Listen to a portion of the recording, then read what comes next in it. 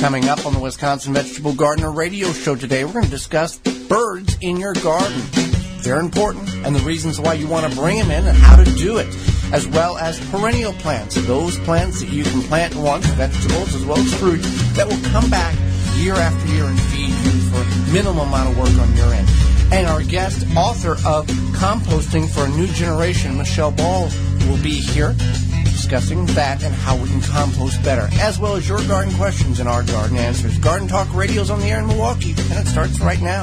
The Wisconsin Vegetable Gardener Radio Show on 860 AM WNOV and W293CX 106.5 in the city of Milwaukee and through the WisconsinVegetableGardener.com. Wherever you may be, however you may be listening, whether through those particular stations, the TuneIn app, the Simple Radio app, or anywhere in between. We are live in Milwaukee, Wisconsin. I'm your host, Joey Baird. Beside me is my wife, co-host, best friend, and gardening partner. The WisconsinVegetableGardener.com is the website that we run that contains now 1,100 plus garden videos, short and long format, as well as full length in studio video and podcast of this program, season one and season two, as well as segments of this particular program on the highlight tab and specific interviews. There's a number of ways in which you can contact us, and one being the three in, uh, organ- uh, uh, three in one plant guard hotline by Ivy Organics. Ivy Organic 3-in-1 Plant Guard naturally protects plants against damaging sunburn, insects, and rodents, protects newly installed plants and trees, shields pruned and damaged surfaces for use on your roses, fruit and nut trees, ornamental trees, and shrubs. This product is non-toxic, environmentally safe, and organic.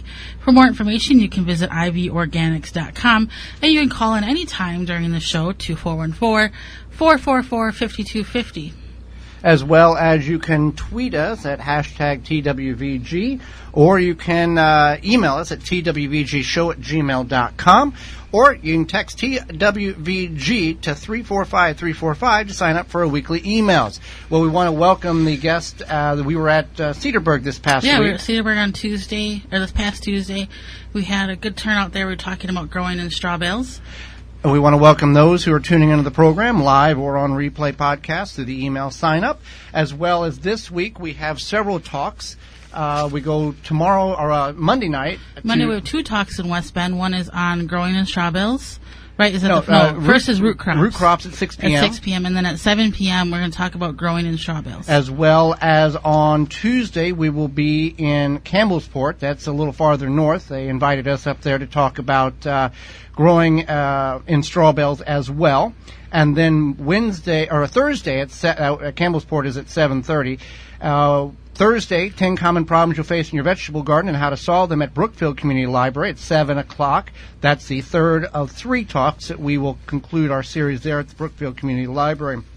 And if you want to find out where we will be at, or where you might be at, you can find that under the Come See Us tab at the website, the WisconsinVegetableGardener.com. We still have a, a handful of talks uh, locally here that we will be, uh, it's all, all free, that you can come learn from. Well, uh, if you have a talk that you want us to do at your particular place, you can contact us under the comes or the uh, speaking request tab. Well, with that being said, we are going to talk about today the importance of birds in the garden. There is a number of benefits to why you would want to have birds come in your garden. Many people uh, believe that you don't want to have birds in your garden because they're going to destroy the plants. They're going to eat the, the foliage, uh, all of that kind of thing, and that's simply not the case. No, birds are definitely very beneficial to your garden. Uh, one is is that we talk about this is that they will eat bad bugs. So they they will eat those bad bugs, and there's many different articles online about this about what bugs they eat. One is for us the tomato hornworm. We've heard of them eating different squash bugs or potato bugs. So definitely, um, that's a good reason to invite Yeah, them in. yeah, they're going to eat the, the. They're not going to eat good bugs. Nature has designed this food chain to where they will eat the bad but bugs. the, but the robins will eat your worms. well, yeah, yeah right, but but yeah, you want for the most part, the birds will eat the bad bugs. and and if they get a few worms, that, that's quite all right. They're going to bene- have a lot of benefit in the garden. So, uh, bug control. You don't have to use insecticides or pesticides or organic means. Uh, a lot of times, and we have found this, like you said, with the tomato hornworm, that eliminates it, it reduces the problem by like ninety five percent of the problems that you're going to face in your garden. Now, Um, yeah. So now some of them do eat weed seeds, so that's that'll help if they're eating those seeds. if you let the plant, if, you, let, yeah, your, yeah. if if your plants get to that point, and we're not perfect, we let our and, plants. and and like we talked about, I think it was a couple of weeks ago. We well, that maybe was in a garden talk. We leave some weeds strategically in the garden. We don't have it a pure weed-free garden because some of these weeds attract the bad bugs, like uh, aphids. They will attract themselves to the weeds and not the vegetables in which we're trying to grow. And we have photographs of black aphids loaded on thistles, and the plants next to it that we are actually trying to grow for food, not even touched. Right. So definitely, if you see that you have some weeds that are a little overgrown, you see birds eating on them or aphids eating on them, just let them be because you're uh, you're feeding that wildlife and they're not bothering your plants. And if they're birds eating on them, then hopefully they're eating the bugs too. Now people will say, I don't want birds in my garden because they're pecking holes in my tomatoes when right before they get ripe or as they're ripe. So I, now I got tomatoes, a bunch we're of gonna holes in we're gonna cover that in just a second. Okay. We're gonna talk about the more benefits. Another one is flower pollination. A lot of these birds, most commonly, is known as hummingbirds, but a lot of them help in induce flower pop, uh, pollination. They also, um, because they're kind of if they're landing on the plant, shaking up the plants, they're they're giving that plant some life, which is making it finish poll- agitating, yeah, agitating agitating the flower, which Yeah. some of these flowers, like tomatoes, have the male and female reproductive organs in the same flower. So by disturbing it, when the birds, uh, uh, insects, bugs crawling on it, it agitates or vibrates that and drops the pollen into the correct location for the fruit to uh, uh, develop. Right. So that's definitely um, a good a good benefit. Now here's some benefits, not just for your garden, but for you. One is that you interact with wildlife. You, if you have kids, maybe yourself, you can watch the birds. Yeah, let's can, define that. Not go out and have them land on your arm like a scarecrow. or like like Mary Poppins or Yeah, something. well, yeah, yeah, exactly. So you don't know. You could somebody could train a bird in their backyard. Don't tell people what to do in their free time. So, um, yeah. So you interact with the wildlife. Maybe if you want to learn their migratory patterns or do some research, you could have a whole new hobby stem of the birds in your backyard. Well, and and we talk about you know we're gonna that that's one way. How do we bring these birds in? Let's talk about the, the how do we get them into our garden if we I just, I just want to notate real Yeah, quick yeah. that it is also stress relief to watch the birds. That is It's been scientifically scientifically proven, okay. proven that if you sit in your backyard, you hear the the songbirds, watch the birds do their thing. It's a, it's a nice relaxing portion um, of your day and for you, and it's scientifically proven that does help relieve stress. okay. Well, how do we get these birds in our garden then? Well, you have to invite them in. You have to give them a reason to come to your garden. An evite is that how we? No. No, no, No, they don't have they don't have email. They have uh, airmail. Okay. Yeah. So, um, you think that was no, funny? no. No. Okay, fine. Um, so you want to p- provide habitat. Birds obviously like to grow, or grow. They like to live in in trees or enclosed areas. Maybe a birdhouse. Um, maybe you could look up some plants that are good for birds, things like that. Um, but otherwise, definitely food. So if you, not all birds eat seed. We've we learned this recently. There was this thing going around on social media about how the robins are need to be fed because they're during that snowstorm. A during that snowstorm ago. because our, our of our delayed spring. And robins don't eat seed; they eat worms and they eat fruits and berries. Okay. So it's not necessarily just seed; it's also other things. and, and incorporating like we talked about the tomatoes being poked holes in. Uh, they're looking for moisture. If you're doing, if that is occurring in your garden, you, they're wanting something to drink. Uh, so you can incorporate a bird bath, or simply just make it a very simple little tub or bucket with water. They will find this. I mean, you don't. They have ponds that these birds go to, so it's not like a special little. They walk up to the edge of the pond or lake and drink, and then they fly away. Some of them actually land in the water and, and that type of thing. So it doesn't have to be elaborate. Simple, functional. That's all it needs Right? to be. Yeah, you could just yeah make a little bird bath or something. They do want that water as well. Now, when we feed the birds, you want to put that bird feeder or bird feeders in the center of your garden. So they physically have to fly into the center to feed off those seeds, and then they can their eyesight will pick up the bad bugs. Now, bird feeder, you can have that mounted on a pole. You can simply do a stake with a tuna can. Uh, nailed to the top of it and put birdseed in that. You want to poke some holes in the bottom of that tuna can so moisture can drain out of it during rain. But that we do that. We've got like four or five of them now, plus a bird feeder in the center of the garden, so they physically fly into the center, not the edge or the perimeter, so they can. And then birds are very smart animals. They find food. They'll tell their friends, "Hey, there's something over here. Come, come over here," and they'll migrate over there. So it's not just you know that they they learn how to adapt and help each other survive. Right. So just like us, they need a place to stay. They need food. They need water. Um, definitely are all are all good things to to keep the birds in the garden. Well, what kind of birds can we expect if we do these things? And maybe you already have birds in your gar- garden already, and you want to keep them there. These are other ways to, in order to do that. What are some birds that we can be familiar with seeing visit our garden? So in Wisconsin, you're definitely going to see robins, and then you'll see anything from cardinals to um, sparrows, chickadees, uh, something called a blue creeper or brown creeper, a warbler, wrens, blue jays, songbirds, all, all sorts of little birds. Now- and that's that's where that hobby could come in. You could try to figure out what kind of birds are coming to your garden. Maybe if you want to attract different birds, what what would attract them. Right, and specific seed or food attracts specific birds of the, that type of uh, caliber into doing that. Because, yeah, some people who are bird watchers, they have a, a book in which they check off, okay, I've seen this bird, I've seen this bird. So it's like coin collecting for them. They, they identify and they mark off the date and location in which they, they see that bird. But again, people indicate, you know, oh, I, I don't want birds in my garden. Well, that birds are part of nature. Birds are very beneficial to that. It's just like your garden. Not many people think about this, or some people do think about this. Your garden is an ecosystem. It's a it's a little community within itself, and birds are part of that ecosystem. And you want to you want to, them to strive and live within your little happy backyard garden. Absolutely. Well, when we come back, we are going to discuss plants, perennial plants, that are going to feed yourself and make minimal amount of work for you through the years to come, right after this.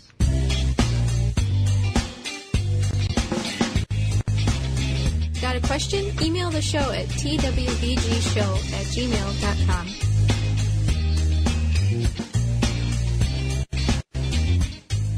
Woodman's is a Wisconsin-based family-owned company founded in 1919.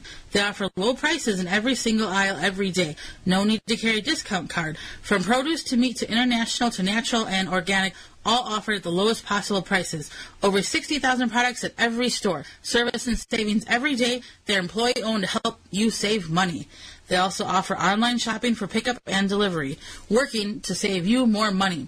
Visit woodmans-food.com to find the nearest location. Keep your garden growing and your grass green with a Chapin G362D professional hose in sprayer. Easily fertilize your lawn and garden and control pests. Just fill the tank with solution, select the mixing ratio, attach a garden hose, and spray. One 32 ounce tank will spray up to 362 gallons of diluted concentrate.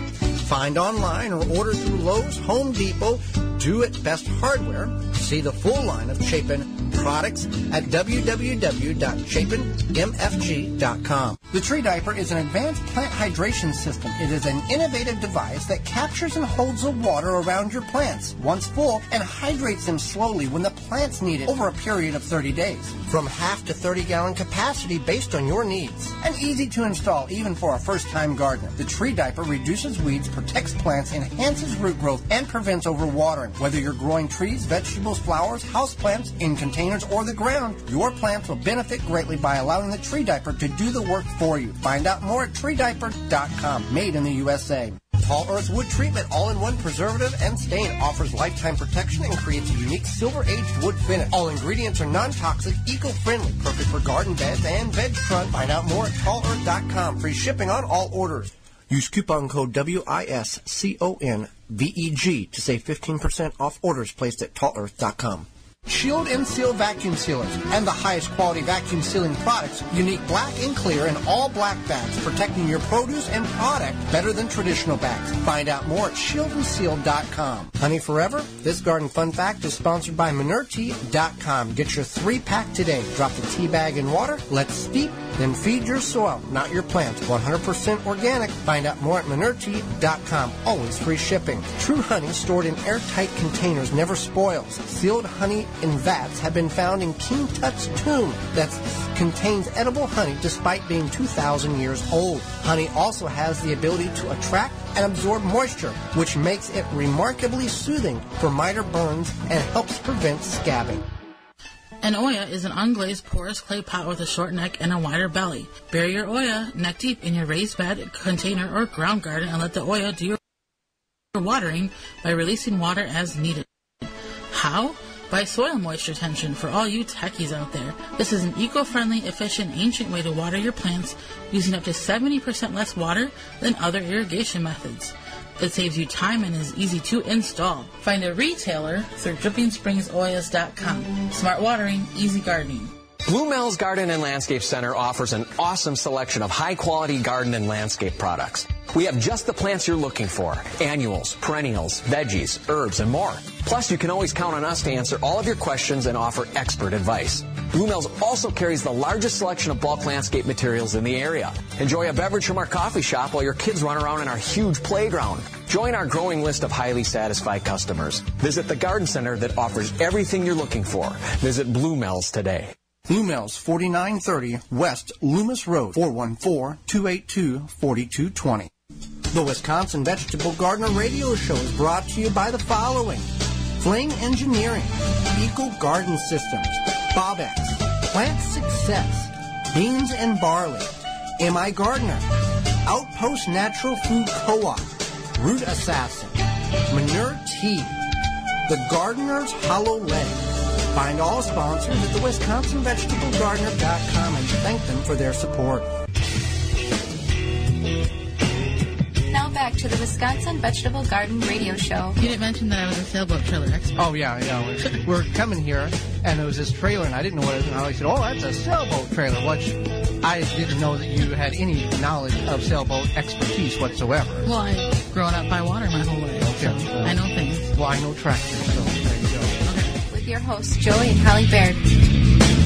Sometimes when it comes to uh, gardening, you want to grow plants that actually work for you, that you do not have to do a whole lot of maintenance. And we're going to go over a list of perennial fruits and vegetables that can do this. Now, with any plant, there is a minor amount of work that needs to go into this. But these are plants that will live multiple years and feed you with really you don't have to go plant it every year and that type of thing. So uh, let's let's talk about asparagus for being one. This is the asparagus time of year. We talked about it with Greg Keys a couple of weeks ago about planting it.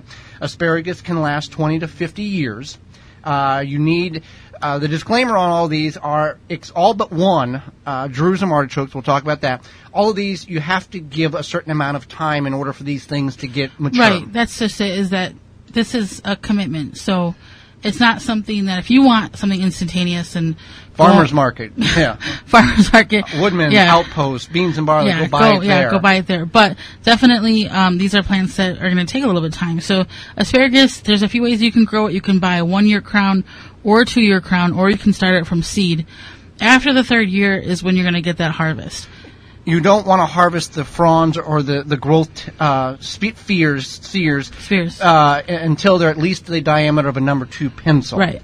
So if if you if you see the, the asparagus coming up, maybe you planted it last year and you get excited, like, oh, I have asparagus now, just and it's tiny, it's spindly. Let it go. Wait till next year. And uh, sometimes you can intercrop in those patches of asparagus with tomatoes. Are the, what is recommended if you're going to grow something additionally in that spot to utilize the space more effectively. Uh, rhubarb is another plant that can live up to 15 years. You will have to divide this. Uh, we can do it in the ground or containers, but it, that third year is that key of when you're going to be able to get good stalks or uh, you, you don't want to eat the leaves. The leaves are toxic. The stalks is what you're wanting to do Right. uh, on them. A lot of people like rhubarb and want to grow it, so that's definitely something that's going to come back year after year. Now, just because we name these off, just don't go to Blue Mel's or your garden center and buy it. Find out if you even like this stuff first before you commit to planting it and the effort and going into it. Uh, like I talk at, at our garden talks, we get questions, and, and we've had questions about, for example, how do I grow okra? Well, do you like okra? Not really. Well, then why are you growing it? Eh, not really sure. So you want to make sure you know that you like this stuff. Buy it at the store. It's not going to have that out of the garden flavor, but it's going to give you an, an ideal of if you even want to attempt to put it in your garden. Right. So then we have the Jerusalem artichokes or the or the sunchokes. This is something that you can plant now. Get the, the get the tubers online, and you're going to have a harvest by October. This is the exception to all of these. Right, yeah. This is more of an instant gratification perennial plant. However, however, um, it could be invasive, so um, it will spread. And so if you if you are like, I'm not sure about this. What if I don't like it? I have these tubers, whatever. You might want to just try to grow it in a container first. Raised bed container. Uh, we've got a designated uh, 50 square foot area in the garden where that's where that's always going to be now till the end of time. Now each plant can produce between four and 15 pounds of, of these tubers, and uh, the plant actually can get 8 to 15 foot tall. And it's related to the daisy and the sunflower. It does put on small daisy like uh, flowers uh, later on in the season. Uh, and it does grow very well It's here. very, they're very pretty flowers, so it's uh, kind of a beneficial plant in that way too. That they are very pretty flowers. and we've grown them in, in all forms and fashions. So, um, and we had a big one behind the compost pile, which we didn't know where that came from. That produced about eight pounds of. I of think we tubers. planted a container there. I, I, don't know. Possibly. Um, so the walking Egyptian onions, or the Egyptian walking onions, they are onions. They're a spring onion. You plant them in the spring. Um, they're going to grow a top set or a top bulb. And what happens is that that top bulb falls, falls over and then it plants itself. And you harvest the roots. So it's like, that's why they call them the walking onions because it basically plants itself, but it falls over. So it kind of is like it's walking. Yeah, as it grows, tips over, roots. Another plant grows up, falls over, and and it'll progressively work Yeah. its. gro- If untouched, it will, com- will walk across the field Right. essentially. Yeah. So that's why they're called that. But that is something you won't get the it won't get the top bulb the first year, so you would actually leave them the first year. You They're just like regular onions, the biennials. They'll and then in the year. second year you could get that harvest. Um, horseradish, I'm not sure if you. I don't think. I think you can harvest your first year. It's kind of a it's a root crop. It's Mm-hmm. kind of a You, you'll harvest it and it looks like parsnips, but it has this uh, immense. Now you can eat it just like you would a carrot. The, the horseradish intensity doesn't occur until you actually grind it or shred it because then it oxidizes and that's where that intensity of flavor comes from that we're familiar with what horseradish is uh, known for. But it will grow down just like carrots underground. It looks like a weed. If you did not know what it was, you would just assume it's a weed and you're just going to cut it off and and kill it or mow it over. That type of thing. It has big, uh, broad leaves on it, and it can last upwards of 15 years. And you can divide it too. You can take those chunks or carrot-like item uh, roots and move it to a different location. Not recommended for containers because it really does grow very deep. You just want good, rich soil. Uh, even it'll grow in poor soil. Jerusalem artichokes will pour, grow in poor soil too.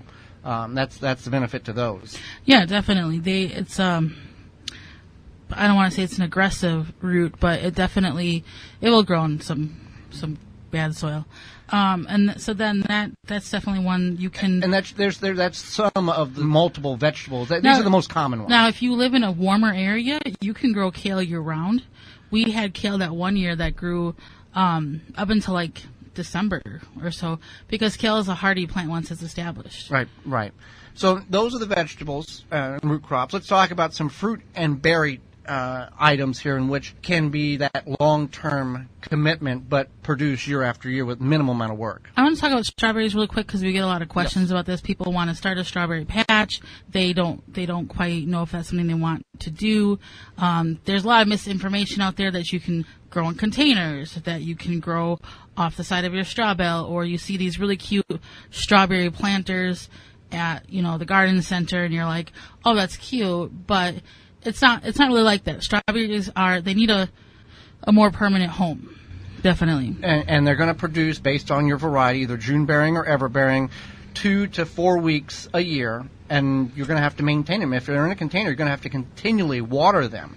We have them established in the ground in a 150 square foot area. Our patch is now going on eight years old, so it's it's about its life's about over five to seven is about your max on these. Uh, but if you're if you want to grow strawberries, just go to the pick your own farm very affordable. You can get more berries than you know what to do with, or the farmer's market. It, if it's not something that is beneficial to plant three or four plants in a container and try to maintain 50, 48 weeks a year to, to benefit you, that was four weeks to get something, a few berries off them. That's, that's our professional opinion on that. You can do what you want, but that's, we don't see, put something in its spot other than strawberries. Uh, or I put a tomato in that spot to get 20 pounds of tomatoes versus six, eight ounces of strawberries over a growing season. You know, so that's that's that. Most fruit trees and nut trees are three to seven years before they will actually produce uh, on on that. So let's go to the Ivy Organics 3 in 1 Plant Guard hotline. We have a question. Caller, you are on the air. Well, good morning. Uh, uh, so happy to be on the air with you, both top of the morning to both of you again. And good morning, Milwaukee. Good morning, Mr. Debo.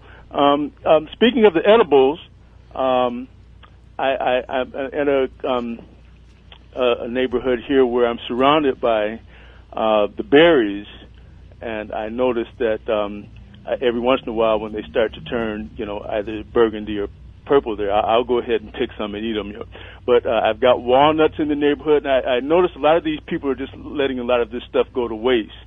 I sometimes I'll bowl some up, you know, but um, the, the walnuts I've got I, I can point out about three walnut trees, and I just noticed a lot of this stuff going to waste. So I'm just hoping that um, a lot of people will, you know, uh, that are familiar with a lot of these things, uh, and a lot of this stuff is just growing like you know right right off of backyards and stuff that are just you know just growing wild, and they just let it fall to the you know the birds will get some, the squirrels may get some, but it just I, I just see it just hits the ground and goes to waste. You know, Absolutely. I I can't I can't eat it all, but I'll try and get some of it. You know, Right. And, Yeah, that, yeah. and that's the thing. A lot of these places, they, oh, it's a pear tree, oh, whatever. Yeah, this, right, This stuff's yeah. edible. Yeah, yeah, yeah, absolutely. And uh, uh, I got a couple of the pear trees and and uh, surrounding uh, areas as well. But uh, a lot of these berries, I guess, raspberries, raspberries, possibly blueberries, even uh, more so raspberries. But uh, the, the the the raspberries and the uh, walnuts, I see a lot of that stuff going to waste. And until a couple of years ago, I, I seen these. I said, "What is it?" And it actually was a walnut, you know, because uh, down in Oklahoma, well, my dad and his um, side of the family, they pe- pecans and walnuts. So I should have knew, you know, I know what a pecan looks like, but the walnuts, I, I, I- I would have never known that uh, walnuts were grown way up here. So, but I see a lot of the wild walnuts being grown in, you know, the, the local Milwaukee area. So, thank you very much. Have a great day and wonderful show. Thank you. Love you both. Thank, thank you Thank very you. much Thank for you listening. Thank you for Thank you. calling. Uh, so yes, a lot of these you, you want to be. You know, you may have this stuff in your neighborhood. One, you want to properly identify it, and two, then if it all is on somebody's property in which uh, they're not accessing it, or maybe they are, because our you know pear trees produce a lot of pears. Nuts trees produce a lot of nuts. You can go, hey, you know, do you mind if we kind of you know I'll, I'll can this up for you, or whatever the case is. Uh, just don't let it go to waste. It's money being thrown on the ground. Essentially, nature's giving this to you. Right, Uh, you especially should- if it's right by the sidewalk or something, and you want to, you know, see if or if it's hanging over the sidewalk. You can always knock on their door and say, "Hey, can I can I harvest some of this? A this?" lot of And times they're going to say, yeah, a "Yeah, lot of times ahead." they're going to say, "Yeah." yeah. So again, nut trees, fruit trees, about three to seven years minimum before they will produce. But there, again, there's a lot in the in the city here that are, are producing yearly. Well, when we come back, Michelle Balz will be with us. She is the author of Composting for a New Generation. We're going to talk all about composting and how you don't need a giant compost pile in order to produce compost. Right after this.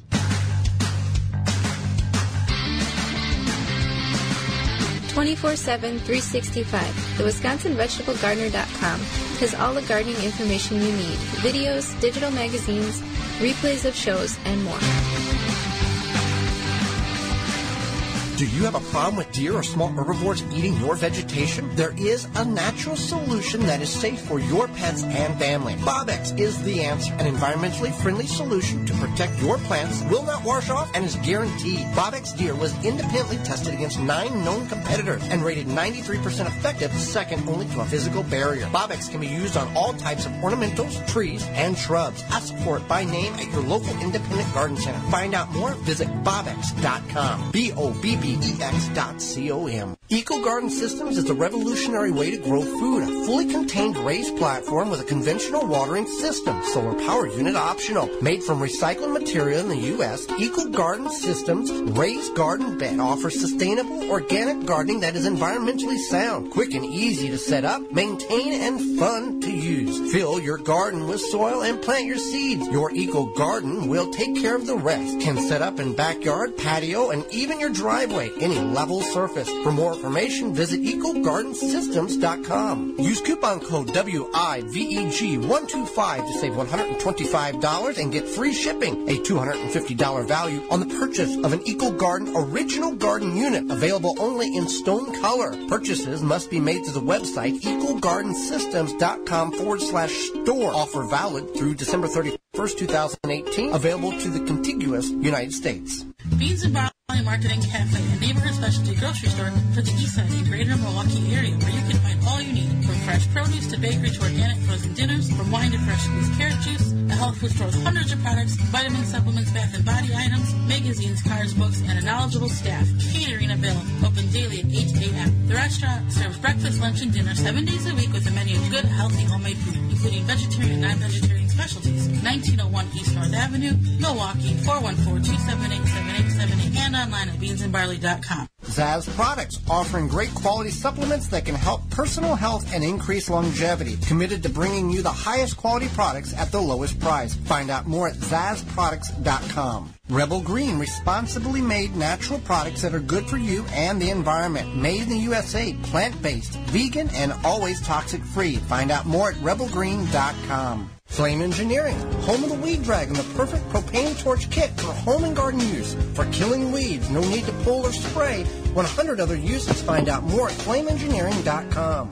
Hoss Tools wants to help you grow your own food.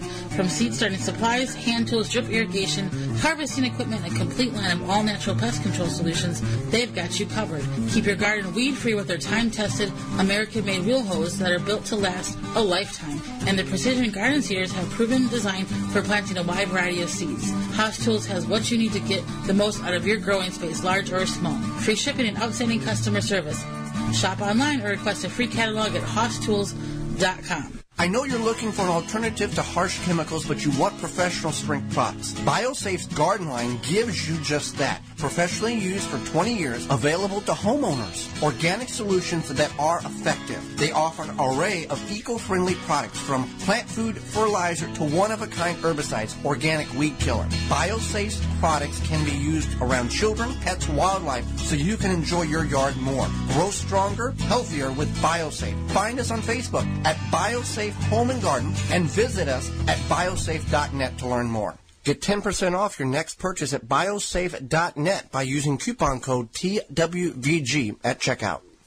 The number one key to healthy, productive plants are the roots. Starting from seed to full-grown plants, RootMaker.com has the answer. From seed starting trays with an innovative design that air prunes the roots, creating a fabulous root system, never again will you have root-bound plants to multiple gallon grow bag sizes to raised beds. RootMaker.com has your grow needs covered. Visit RootMaker.com. The Wisconsin Vegetable Gardener Radio Show is brought to you by the following Hoss Tools, Tree Diaper, Rootmaker, Seeding Square, Rebel Green, Dripping Springs Olla, Zaz Products, Shield and Seal, Pomona Universal Pectin. Find all sponsors at the WisconsinVegetableGardener.com and thank them for their support. Now back to the Wisconsin Vegetable Garden Radio Show with your hosts, Joey and Holly Baird. So, just uh, want to talk about next week. We're going to be at the Blue Mel's Spring Kickoff Party. So, there's going to be a lot of things going on. Um, they're going to have an open house where you can take a look at the plant selection. So, they're they're all gearing up, ready for spring. I was there yesterday, and they got all their a lot of their vegetable starts in already uh, yesterday morning. And then they're going to be relaunching their annual Blue Mill Bucks program. So it's time for that. So for every ten dollars you spend, you get one Blue Mill Buck for the to to bring them back to bring back and spend later. The following week, Yeah, the, or whenever. Yeah. Um, prize drawings and then the lawn and garden specialists. Um, this is all on May 5th, which is next Saturday. from 11 to 2, and we will be there from 11 to probably about 1. Uh, we will be there. You can meet us. We'll have our big sign out there. You got garden questions. You want to sign up for a weekly email. You can certainly do that. And where is Blue Mel's, Joey? 4930 West Loomis Road in Greenfield. Uh, they can supply and surpass all of your needs. Uh, you can find more information at bluemels.com or you can always call them at 414-282-4220. Their spring kickoff next Saturday morning, 11 to 2, uh, May 5th. Well, Holly, let's go to the IV Organics uh, 3 in 1 Plant Guard hotline and bring in our next guest. Michelle Balz is a longtime backyard composter with a passion for reducing our impact on the planet. She spends her days writing laid back advice for home composters in the Confessions of a Composter blog, teaching classes on backyard composting, learn everything she can about composting, recycling, reusing, and waste reduction. She has a new book out, Composting for a New Generation, latest techniques for the bin and beyond. Welcome to the program, Michelle. Thanks for having me. Well, we're so glad you've taken time out of your day to teach all of us a little bit more about composting because it's a very confusing topic when it comes to, to home gardeners uh, that we have found. Well, it shouldn't be. It's it's pretty simple once you get the hang of it. There's a few basic concepts, but after that, then it, you it's smooth sailing. I think a lot of people have misconceptions about composting.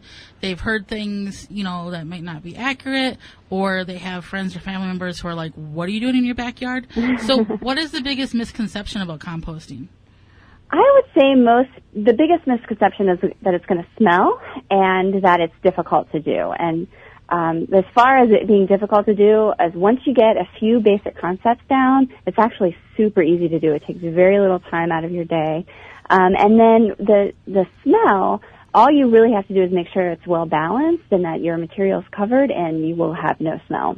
So let's talk about that smell. There's anaerobic and aerobic compost piles. Which is the one that we should be having?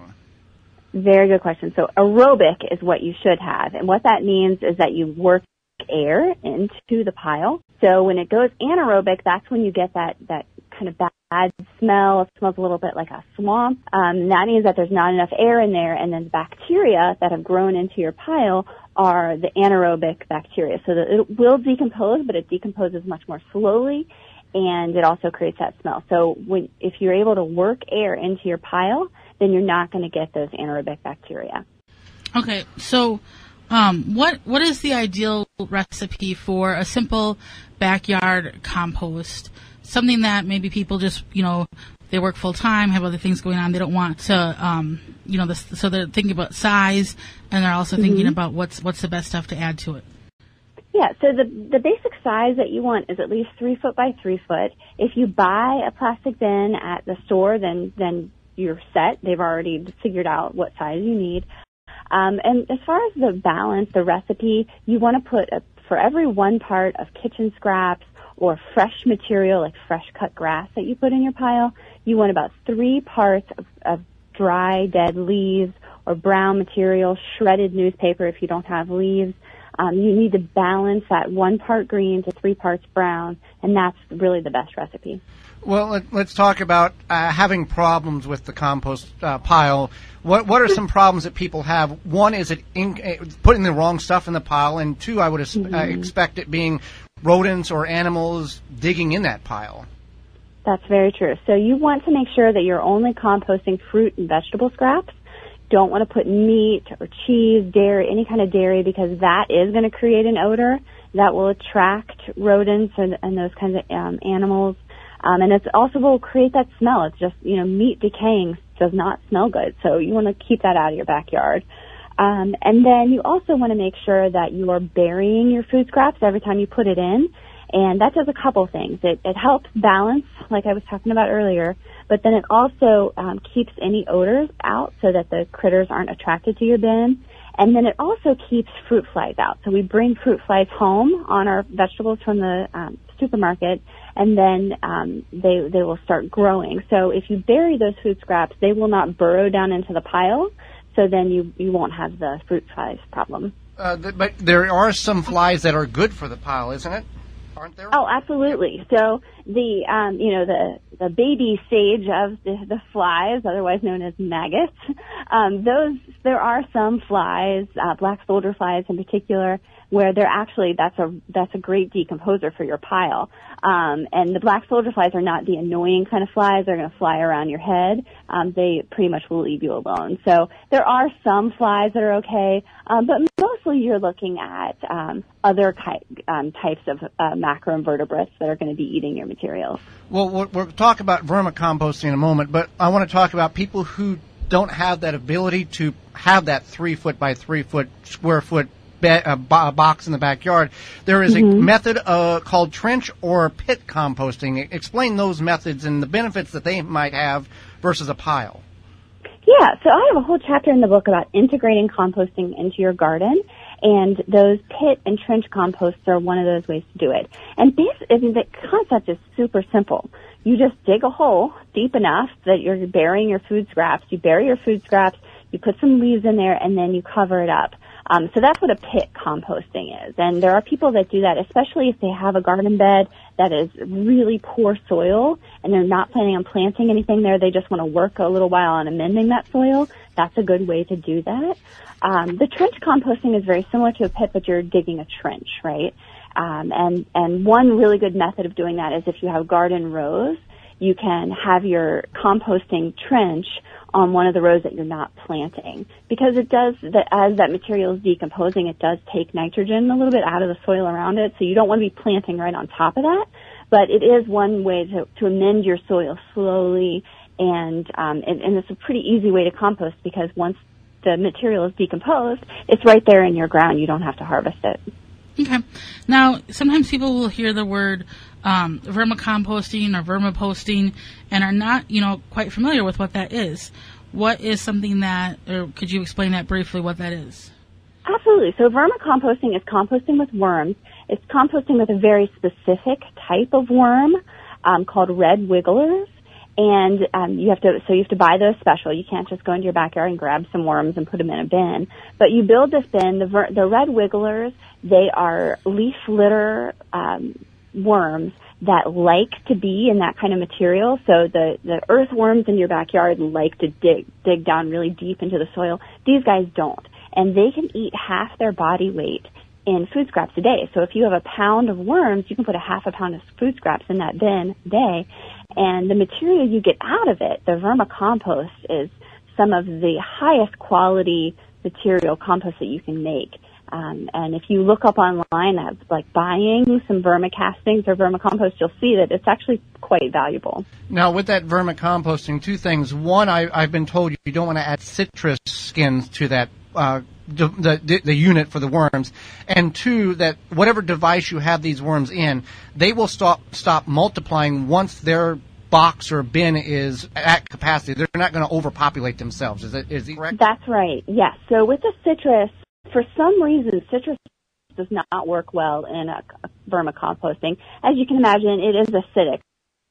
So it's going to change the acidity since it's such a small bin that that's a problem. But then also, I, whenever I've accidentally put a citrus peel into my vermicompost bin, I get these little tiny white flies that are attracted to that, and those are really, really annoying. So I completely avoid citrus in my vermicompost. And then, um, I'm sorry, I forget your other question. They they won't overpopulate themselves. They'll they'll quit whenever the, the bin is full or their That's community is right. full. Yeah. So they are they self-regulate their population. So when they um, they'll mate and lay eggs and, and repopulate your bin as you feed them. If you feed them less, then you'll get you'll have less worms in there. And then if they fill up, if your berm, your bin fills up with vermicompost that needs to be harvested, then there's not as much uh, space for them to grow. So they you won't ever have a problem of you know an overabundance of worms. And, and that's great because you can harvest those and create another bin, uh, but you want to keep that soil moist because worms want a certain amount of moisture. Otherwise, they're going to die or, or get too wet and drowned. That's right. They basically breathe through their skin, so they, you have to keep a moist environment for them to be able to live. So let's go back outside and talk about this compost pile that we've created. Uh, there is called cold composting and there's called hot composting. Now, uh, if, you can, we, we've talked about both of those, but I want you to, to go into more of the science of it. And is there a benefit to one versus the other, or as long as this stuff breaks down, we're in good shape? Yes, the, the age-old hot composting versus cold composting debate. Um, basically, the way I look at it is cold composting is kind of a lazy way of composting, which is perfectly fine. I mean that completely unjudgmentally. Um, so with cold composting, you don't have to put as much work into it. Um, you know, you still want to have a good balance, but you're, you don't have to turn it as often. You don't have to worry about cutting the materials down. There have been some studies that have shown you do get a, a, a nice, um, a different kind of uh, nutrient um, profile in finished compost that comes from cold composting versus hot composting. The benefits of hot composting are that you get finished compost much more quickly.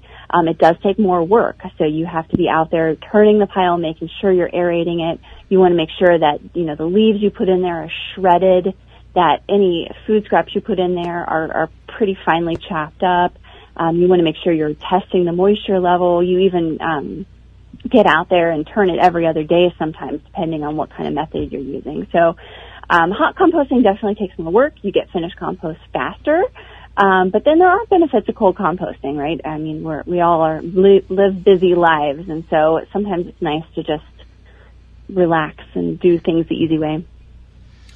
Excellent. Now, where can we find your book and find more about you? So um, you can buy the, the book Composting for New Generation at Lowe's, at pretty much any um, on Amazon, pretty much any uh, bookstore. Um, I am on Instagram and Twitter as Compost Geek. If you want to follow me there and my silly stories, but um, but yeah, you can you can find the book pretty much anywhere books are sold. Well, Michelle, we greatly appreciate you taking time out of your day to enlighten us and inform us about composting and how we can do it better in our own uh, communities. Well, thanks so much for having me on. Absolutely, and we'll be back after these after this with your garden questions and our garden answers. If you have a gardening question, now is the time to call in on the ivorganics.com 3 in 1 Plant Guard hotline at 414 444 5250. Pomona's Universal Pectin is high quality pectin that gels reliably with low amounts of any sweetener. If you're trying to reduce the amount of sugar in your diet, you'll love Pomona's Universal Pectin. Now you can make healthy homemade jams and jellies sweetened to your taste. You can use sugar, honey, or any alternative sweetener you'd like. Pomona's Universal Pectin keeps indefinitely when stored in an airtight container. Easy to use, versatile, and comes with directions and recipes in every box. Find out more and where to buy at PomonaPectin.com. Available at most natural food stores and online. Wouldn't you love to get more from your growing space? By utilizing the square foot garden method and properly spacing your plants, Seeding Square will optimize and organize your veggie garden to grow more greens and less weeds. The square foot color coded seed spacer is a great tool for any garden, ground container, or raised bed, and all experience levels, even little green thumbs. For more information, visit seedingsquare.com. Seeding Square is gardening made simple. Mycorrhizae is a beneficial fungus from Plant Success Organics.com that will greatly increase your plant's germination ability and healthier root structure. You can increase seed sprouting, root growth, and general plant germination. Mycorrhizae can be used with hydroponic root cutting, seed sprouting, coco coir, and soil. Plant Success Organics.com carries powder, granule, and tablet form of mycorrhizae. Increase the level of mycorrhizae in your soil to give your plant the optimal opportunity to produce incredible harvests. For more information and to purchase, visit Plant Organics. Root Assassin, a garden tool that does all the root functions with its advanced shovel that has serrated edges on both sides. Find out more information at rootassassinshovel.com. The Gardener's Hollow Leg, the debris and harvesting bag you wear, comes with its own belt attachment, perfect for doing light pruning, weeding, harvesting on the ground or on a ladder, and many other uses. Find out more at thegardenershollowleg.com. Save 10% by using the word veggies at checkout. Garden seeds do not have to cost a fortune, just 99 cents at migardener.com. Now with over 450 varieties of non-GMO, heirloom, and organic flower, vegetable, and herb seeds available year-round. Pay less and get more seeds. Shipping as low as $2.50. That just makes sense. Go to migardener.com for seeds and garden needs, tools, and special blend fertilizers. migardener.com. It's that simple. Family owned and operated. Here at Outpost Natural Foods, it's not just that we're community owned that sets us apart. It's the fabulous foods we sell. We celebrate Earth Day every day by offering our customers the finest natural and organic food selections in greater Milwaukee. Outpost local farmers and vendors provide our stores with a delicious selection of fresh seasonal produce that you won't want to miss. Outpost stores are located in Milwaukee, Wauwatosa, Bayview, and Mequon. We're a real Milwaukee original where anyone can shop and anyone can join. For the whole scoop about Outpost, we invite you to visit www.outpost.com co-op. Blue Mel's Garden and Landscape Center offers an awesome selection of high quality garden and landscape products. We have just the plants you're looking for annuals, perennials, veggies, herbs, and more. Plus, you can always count on us to answer all of your questions and offer expert advice. Blue Mel's also carries the largest selection of bulk landscape materials in the area. Enjoy a beverage from our coffee shop while your kids run around in our huge playground. Join our growing list of highly satisfied customers. Visit the garden center that offers everything you're looking for. Visit Blue Mel's today. Bluemel's 4930 West Loomis Road, 414-282-4220. The Wisconsin Vegetable Gardener is brought to you by the following. Handy Safety Knife, BioSafe, Tall Earth, Chapin International, The Plant Booster, IV Organics, Woodman's Market, Bluemel's Landscape and Garden Center. Find all sponsors at the WisconsinVegetableGardener.com and thank them for their support.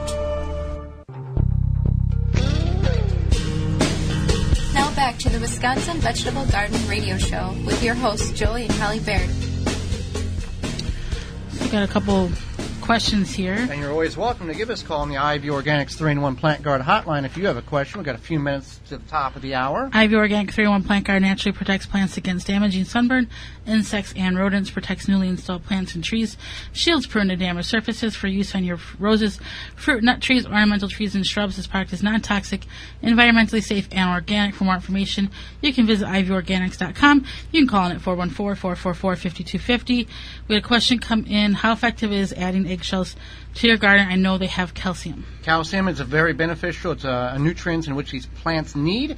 A way in order to ex, uh, get that more readily accessible to the plant is to dry the egg shell out. You can put it in the microwave for whatever time period you want, a minute or two, and then grind it up to a powder. Then you can incorporate that into your garden hole, and it's going to be much more quicker for the microbial life to break down to feed your plants rather than just crushing an eggshell, throwing in the hole, which can take up to 18 months to break down to a point where it's usable.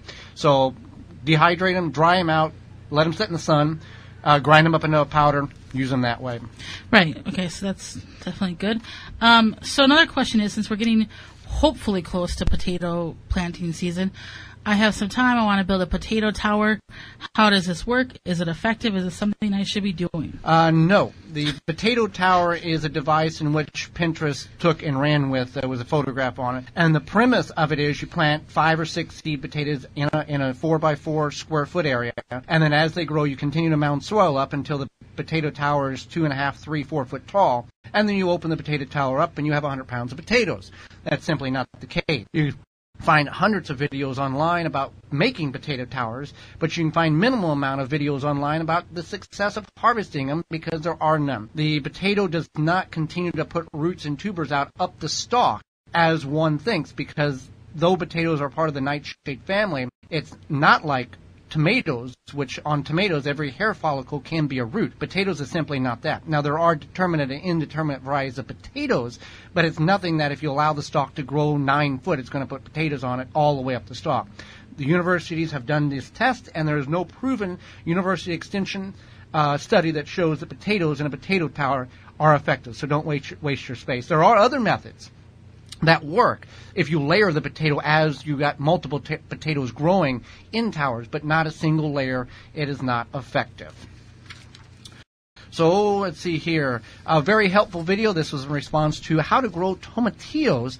Uh, thank you. This will be my very first year growing them. Again, we've got uh, 1,100 garden videos about multiple growing uh, techniques on the website, and we get a lot of comments like that in uh, multiple times a week about how beneficial it is. Another one is I want to know what potatoes are the quickest to be ready to harvest. Well, that um, there are three categories of potatoes: early, mid, and late season. So your mid, your early are about 70 to 90 days. Your mid are 90 to 100 days, and your late are 110 to 135 days. You can start harvesting your potatoes after 10 weeks of planting them. After the flowers develop on them and, and fall off, then you can go ahead and harvest them. But uh, any of those varieties, as long as you get that, you know, after the flowers fall off, you can harvest them at that point. How do you divide your seed potatoes, and is it even necessary? Can I plant the potato whole in the ground? Would you dividing your seed potatoes typically when you get them from the garden center or online, we order and we work with Wood Prairie Farms. It's out of Bridgewater, Maine. They're a specialty family-owned farm. They have 26 speci- uh, specific types of uh, seed potatoes certified. You can uh, uh, you get them, and they're be- they've already begun to sprout, and that's a good thing. It identifies where the growths are going to be on the potato. Just if you would have bought some organic potatoes from Outpost or Woodman's or Beans and Barley, and they begin to sprout in your cupboard, uh, those can be used as well because they're organic. But we'll talk about that in a different time. You're going to divide your potatoes, preferably with two sprouts per chunk. Let's say the potato has four sprouts on it. You can cut it in half and have each chunk have two sprouts coming off of it. You do not want your potato chunk to have to be any smaller than a medium-sized chicken egg. That chunk of potato that contains, in this example, two sprouts, that is the energy for those sprouts until the sprouts get large enough to develop their own root system and detach from that chunk of potato. That is why when you dig potatoes up, you'll sometimes find that mushy, rotted-looking chunk of potato. That's that seed potato has been detached you do not have to cut your potatoes. Uh, if you have a very large seed potato, you can get three, four chunks off of it. You're going to extend your seed stalk. So instead of having one potato, now you have potentially three or four potatoes that you can plant uh, in the row. So you're just expanding it. Whether you do it plant the whole potato or a chunk of potato, the, the yield from some of these university studies have shown that it's going to be the same. You're just extending that seed stock. So you don't have to, but you can get a few more potatoes and make another row essentially out of what you already uh, have bought or you've gotten from the, the garden center. Uh, Marilyn asked, I have, uh, I need a way to keep tomato hornworms from eating my tomatoes. This is a problem. Well, uh, tomato hornworms, if you do not know if you have them, you will know the symptoms or the results. It's like you're going to harvest the tomato tomorrow morning. You come out, uh, you leave it tonight for tomorrow morning, and the tomato has basically been ate all around the core, and there's some black droppings left, or and or the leaves have been ate off your plant. This is the tomato hornworm, and these that is the symptoms. So one, you can harvest your tomatoes a little earlier. Two, there you can apply BT. Uh, it's a liquid or powder form. It's a naturally occurring bacteria in nature. You do have to reapply that after rains uh, to allow these insects to ingest that. Uh, like we talked about in the first segment, bring birds in and they will pick off the insects, the good, either the bad bugs, the worms, all of that off your plants. Uh, you can also not plant in that same area that you planted last year. Move it five, ten feet away if, if all possible. Disturb that soil right now in the spring or in the fall that disrupts the cocoon in which that larva is living in under the soil and you will it looks like a monarch butterfly cocoon. If you're able to find it you want to dispose of it step on it break it up and um, you'll not you'll reduce your chances by 90% whether you use a spade a shovel a garden fork or tiller disturb that soil where that that problem was last year and move the plants to a different location. And that will help immensely Mary asked, I have a vegetable only compost bin. I've been putting crushed eggshells on it. My question is, I've been trying to remove the skins from the eggshells with very limited success after rinsing and drying the shells. Is this necessary? Not at all. You can dry your shells in the microwave or just let them set out, crush them, put them on your compost pile. Uh, you can also grind them up to a powder and use them in the planting hole of your vegetables, and that will make the calcium even more readily available. Well, we are out of time, and we appreciate yours. We love whenever you join us each Saturday morning on the program. Join us next week as we will discuss mulch, the importance of it, how to use it, and what's the best mulch to use, as well as five tips for container gardens. Some people, that's all you're able to do is grow in containers. So we're going to go over the five tips that will help your container garden thrive, as well as chicken expert Melissa Culfrey will be with us to talk about if you are able or want to have chickens in your backyard, as long as you follow the municipality laws in your township We'll go over that. Miss any portion of this program or want to revisit in its entirety, you can find that under the radio tab at the WisconsinVegetableGardener.com in full length in studio video as well as podcast form. Want a specific interview or certain topic? You can find it underneath the highlight tab on the right hand side, both containing full season one and season two as they're added. Until next week, for Holly Baird, I'm Joey Baird, and we will see you in the garden. You have been listening to the Wisconsin Vegetable Gardener Radio Show. Tell a friend and join Joey and Holly again next week so we can all grow together. The Wisconsin Vegetable Gardener Radio Show is a production of the WisconsinVegetableGardener.com in association with WI Garden Media Broadcasting, live from the WNOV 860 AM and the W293CX 106.5 FM, Courier Communication Studios in Milwaukee, Wisconsin.